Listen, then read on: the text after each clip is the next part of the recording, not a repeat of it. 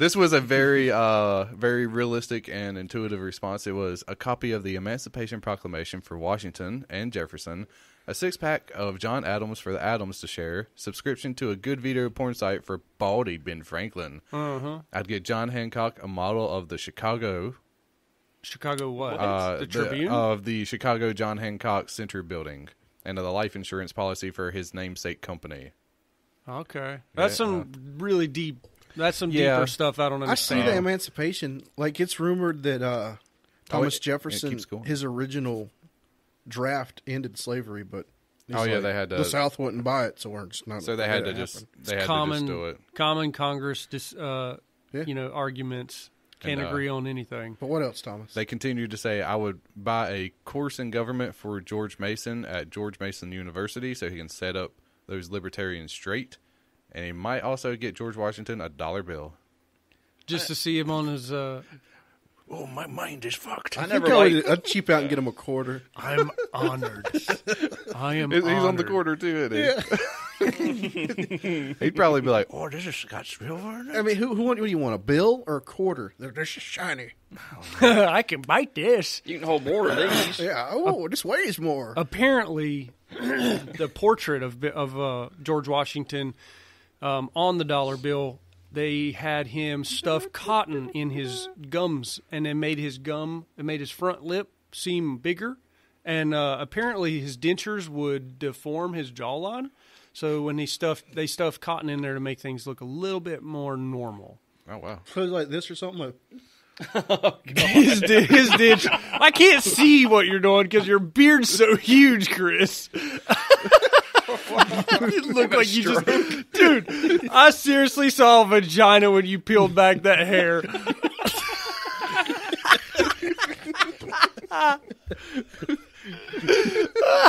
and that's all I see now. Go eat a popsicle later. Be like, oh. Anyways, oh. Speaking of that, uh, someone said uh, I would get them a dildo so they could fuck themselves. Oh, that's someone that's pretty angry. I think they were Yeah. from Europe. Salty. Uh, someone they- said uh, slaves? Question mark. they would give him slaves. must be pretty rich to give a founding father forty grand. That's just what the response was. And Okay. then the last one was the European flag. Hmm. I don't get that joke. They're pretty mad to get their ass kicked twice. Yeah, they're mad. Yeah. Still mad. American I mean, we- left made us lose all our other I mean, we, colonies. we teamed back Now we're up just with an island. Winston Churchill and uh, beat those Nazis back into the ground. Yeah, we So we tapped everybody and they came over there and had to save them. It's all right. Luckily, we didn't take their land after World War II. Yeah, we should Yeah, have. I should have. Europe be half Russian, half America. hmm Instead of Parliament, we just took over. I got a foothold over there on Mm-hmm. the on the other side, on the other side of the flat Earth. what else you got, Thomas? That that was it. That was the last one. But I do have some a uh, fun fact about Thomas Jefferson. Let's hear it. Uh, so Thomas Jefferson was an avid bone collector. Uh, but they called him a bone collector because the term fossils during this day and age was still under interpretation. So he didn't call them fossils; he called them bones. Right. So he collected uh, many different animals and viewed. Uh, he also viewed that the animals could not be extinct. So he didn't believe in extinction either. I saw where he had a mastodon bone. Yes, Yeah. that was. Wow, that's cool. So his belief said, and he wrote books and papers because he was a lawyer and all this stuff. He said animals are not extinct. If you find bones or remains of an animal, it is not extinct because it could therefore theoretically still be alive because it was at one point in time. All right, I see where he's That- coming from. That was his idea in a very broad nutshell. but Sounds he, he- ignorant. He, changed his mind a lot as he got older. he he did. like he he originally wrote that humans didn't have free will. well, some people probably don't. Not first. Uh, something caught my eye, Thomas. Oh, you see something moving? Uh, I can see the window out there. Beto, go back in your Hey, I don't know if I can be doing that shit. I'm just saying, like something caught my eye. Move something like kind of moved past the window, but it might have been just my eyes. Uh, cat. Yeah, be. I I don't think be your cat. I don't have any cats. Okay. Um, so he didn't believe in extinction, but he did uh, love to collect bones, and uh, he had mastodon remains. Oh, sorry, I just foiled your work there. So. No, no, no, it's it's good because um, the mastodon remains. he uh, he actually wrote back to France and the colleges and other stuff, and they had a discussion, and they made an American mastodon, and they called that the mammoth, Hmm. Huh? The woolly mammoth. the woolly mammoth. Yeah. So the American mastodon, instead of the mastodon, stayed over in Europe and Asia, and over in America they call it the mammoth because it had more fur and It's a cooler. was- It's a cooler name too. It no, is- it's not, dude. Mastodon is so much cooler. Mastodon is cool. Yeah, Mastodon. It's more for time. So, uh, Macedon, I like. Just keep talking. He uh oh the band. There we go.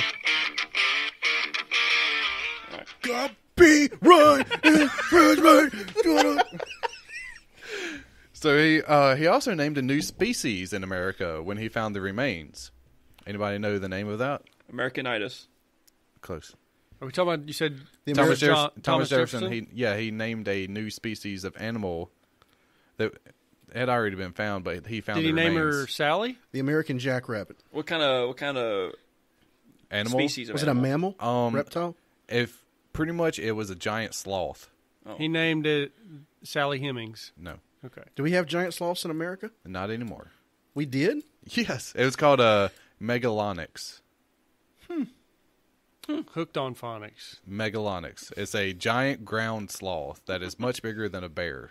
Yeah. What? Whenever they stood on their I back remember feet, they're seeing- like seven or eight feet tall. These were around in their time. Yes. Can you imagine like a little giant sloth just stealing kids out of the woods? Well, the sloth. With no, his little look hands? no, these were giant sloths, and they had long claws like Wolverine. What was it So- called? They run thirty Uh, miles an hour. megalonyx. Can you bring it up? Yeah, do you think about that, dude? It, he's one arm and out of the tree, scooping up a kid. Hey, I will. He's I like real will. King I Kong. will say those those dragon, uh, the really dangerous lizards, Yeah, the Komodo the. Komodo dragons. Didn't we watch a video of one of those fucking things eating a baby deer out of Yeah. the belly of another deer that was Eating still it out. alive? Yeah. there you go. Whoa! Dad, look at that thing. Dude, that was alive during their time. Yes, What's they. this? Uh, look at it fighting a saber There you go. tooth. What? What are you talking about? This was around in the 1700s. Pretty sure it's This was no. This was alive. They found the remains, and then Thomas Jefferson, whenever he sent Lewis and Clark out west for their expedition, he specifically told them, among other things, to search for this animal.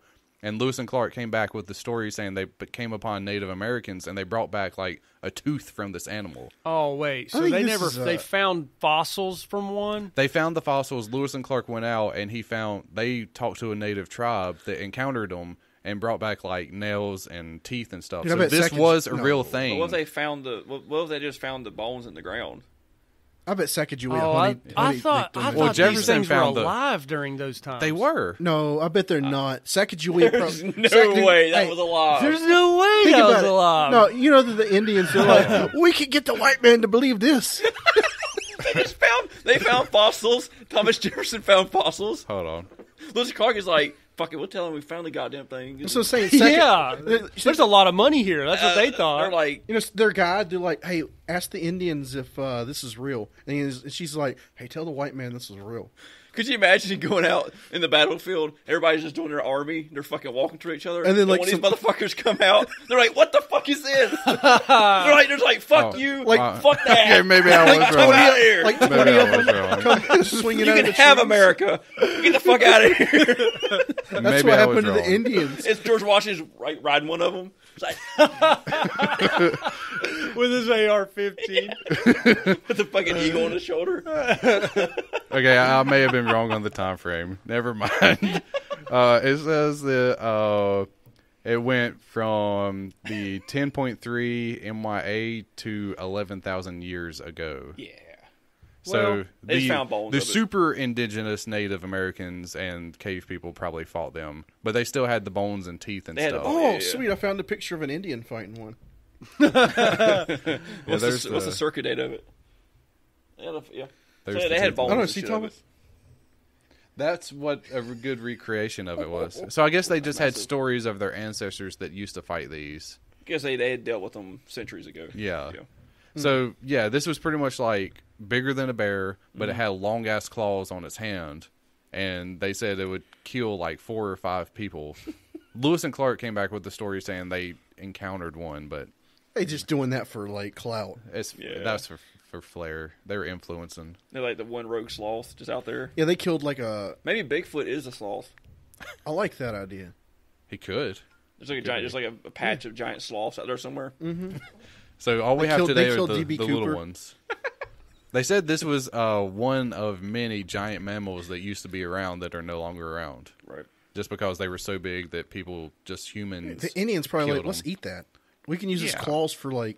And they're rapes. they're probably slow. So I mean, you sacrifice three three people to kill the animal. Mm-hmm. Yeah, it's worth it. That's a lot of lot of fur. Yeah, A lot of warmth. There's Yeah. a picture where it shows the guys with the spears like one v one in a mammoth.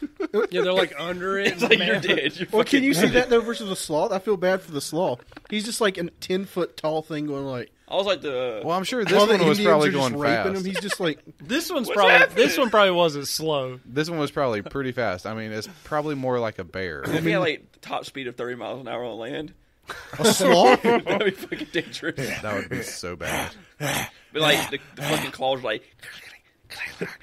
It's, it's I like don't, I don't think they could run because of the giant hook hands. they, they they ran on their fucking like this. Oh, they ran on the toenails. yeah. Like they're just. Sanctuary, They just jumped. sanctuary. It's fucking gross. Jesus Christ. well, So yeah, he was he was big into fossils and bones, and he wrote books and everything. the hunchback is like, I just imagine the hunchback is like dressed up as the sloth chasing people around. oh yeah, but their theater entertainment back then. Sanctuary. They're like, oh my god, it's a beast. So yeah, I just thought that was a good fun fact. Okay. So I wonder how Nice. many people though back then. You can lie to people So so you easy. probably fool so many. Yeah. You're like I found well, a he dinosaur. he had a still giant alive. bone collection in his house. Uh, pretty Thomas cool. Jefferson did. Yeah. Like he was an avid collector. Like I feel that he probably had like the ivory tusk, but then he made everything else up. this is this is all real because I said so. This is a sloth. Uh, Lewis and Clark found it. well, I mean, It's real. they they found remains, so they've reconstructed it now with science. So Yeah. It's fake. Devil giant, put them bones giant in the ground. ass. uh, And the bones were put there by the by dinosaurs- somebody yeah, else. dinosaurs the weren't real. dinosaurs weren't real. The Earth, the dinosaurs there to try to disprove the Bible. Mm-hmm. About- Earth is only six thousand five hundred and ninety-five years old. Oh yeah, these giant sloths they were extinct eleven thousand years ago. See, You had Adam and Eve Disproven. and a giant sloth, and a snake, and an apple tree. now The yeah. Earth's not round either. but- And then rock people. that's what I'm saying. Dude, a comet came down through the firmament and You mean that Killed was, them that was just one of the lights fell off the top of the ceiling. Yeah, one of the. The studio light lamp fell. Like, Thanks God. It's like some Westworld shit. Mm-hmm. The Westworld dummies just look up like, oh. then they That is unusual. pause, pause movements, pause all movements. Stop! Stop that's all our murder history, functions. man. Stop all the, uh, the functions. studio execs they canceled Dinosaur World and they wanted to start Primate World. Oh, wow. And that's where all the Mandela effect comes from. Mm-hmm. Some people got pause remember it, and some who pause don't remember it. Stop all motor functions. Bob, clean up that light bulb. Okay. okay. Uh, why is this light bulb? bulb Okay, guy, Resume motor functions. Wha- Why, am- why am I cleaning up this light bulb? where'd the meteor go? what meteor? Wipe memory. Start over. And that's where the theory of karma came from. And she's a bitch. Or not karma, reincarnation. Oh, karma. I'm stupid. um, There's this is a quick thing I'm gonna throw out there that there is a rumor that there was a time traveler that was responsible for convincing our founding fathers to sign the Declaration of Independence. I'm down with this. Who is it? He just bust out the DeLorean with a nine millimeter. Fucking sign it. Fucking sign it now. So it's apparently something that was said in the back of the room that they can't figure out who said it and why they said it. But there was some arguments going on. People wouldn't sign the Declaration of Independence, and apparently someone in the back of the room said, "God has given America to be free." After which there was a large rush to sign. Unable to find the individual responsible afterward, it is dubiously claimed the anonymous person must have been a time traveler resolved to save the country. How, do they have audio of this? Like, you play that for me? this was before recordings, wasn't God has given America to be free. Oh shit! I got That's when he blew.